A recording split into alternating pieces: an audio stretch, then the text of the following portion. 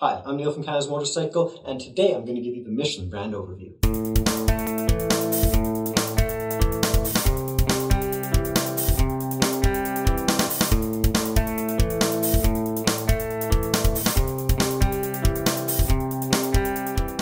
Michelin's roots date back to the 19th century when two brothers decided to take it upon themselves to make pneumatic tires.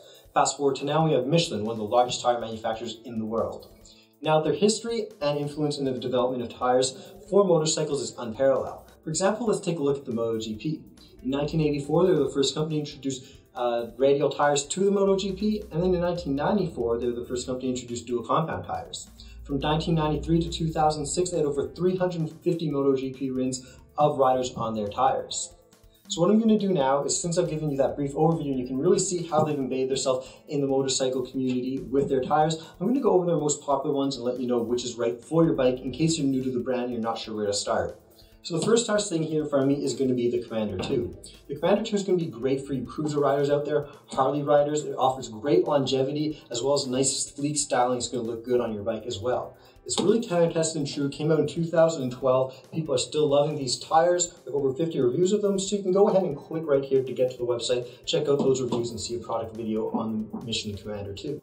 Now, if you're more into sport touring, your best option for Michelin is going to be the Pilot Road 4. It's an upgrade from the Pilot Road 3, offering 20% longer mileage and 17% shorter stopping in wet weather conditions. If you're looking at the Pilot Road 4 for your sport tour, you're going to know that there's four different types. First of all, we have the standard version, and that's just going to be for your mid-range sport tours around 600cc. And then we have the Pilot Road 4 GT for grand touring, and that's for heavier sport bike applications, people riding two up, or if you're going to be traveling with lots of heavy luggage.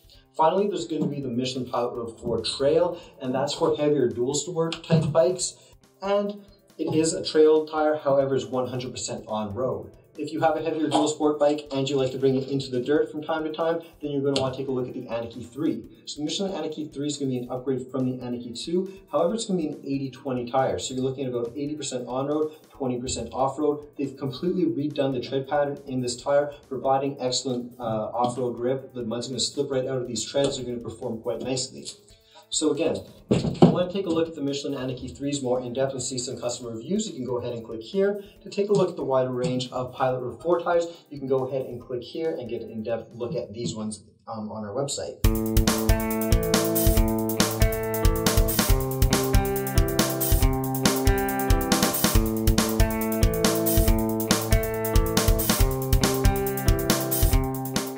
That was a closer look at some of the more popular tires from Michelin as well as a brief uh, history of the company. If you have any other questions about other tires on the website, feel free to give us a call. We'd love to help you out. My name is Neil from Canada'sMotorcycle.ca. Thanks for watching.